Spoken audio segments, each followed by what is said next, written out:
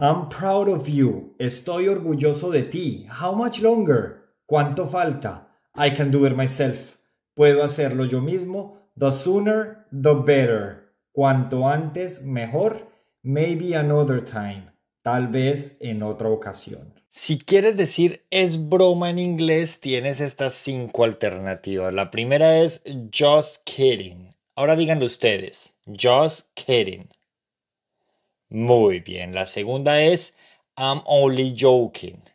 I'm only joking. Díganlo ustedes. Muy bien. La tercera sería I'm messing around. I'm messing around. Díganlo ustedes. Muy bien. La cuarta, I'm pulling your leg. Esto es un modismo. I'm pulling your leg, como te estoy mamando gallo en Colombia. I'm pulling your leg. Díganlo ustedes.